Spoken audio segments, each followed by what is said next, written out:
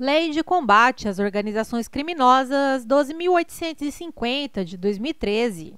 MPE Promotor de Justiça 2016. Segundo a Lei número 12.850 de 2013, Organizações Criminosas, em seu artigo 2 parágrafo 3 encontra-se expressamente prevista circunstância de especial aumento de pena para quem exerce o comando, individual ou coletivo, da organização criminosa, ainda que não pratique pessoalmente atos de execução.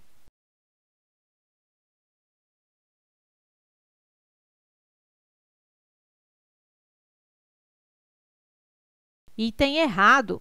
Lei número 12.850 de 2013, artigo 2 parágrafo 3 A pena é agravada para quem exerce o comando individual ou coletivo da organização criminosa, ainda que não pratique pessoalmente atos de execução.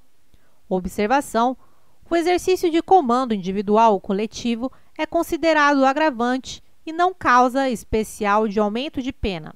MPE Promotor de Justiça 2016.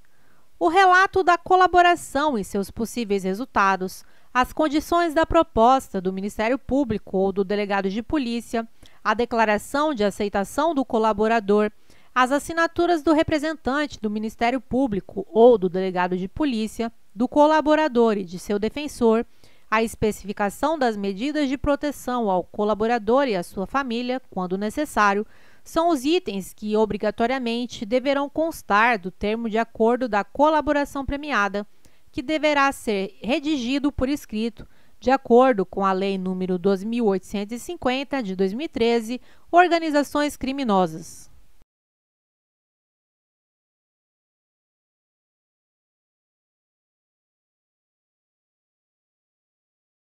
Item errado.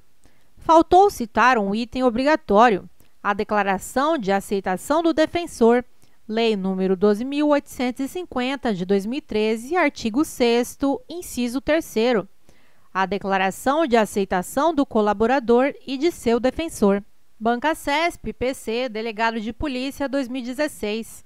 Sebastião, Júlia, Caio e Marcela foram indiciados por supostamente terem se organizado para cometer crimes contra o sistema financeiro nacional. No curso do inquérito, Sebastião e Júlia, sucessivamente com intervalo de 15 dias, fizeram acordo de colaboração premiada. Nessa situação hipotética, no que se refere à colaboração premiada, o MP poderá não oferecer denúncia contra Sebastião caso ele não seja o líder da organização criminosa.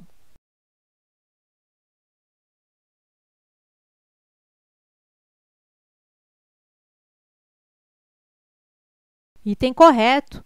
O Ministério Público poderá deixar de oferecer denúncia, pois Sebastião não era o líder da organização criminosa e foi o primeiro a prestar efetiva colaboração.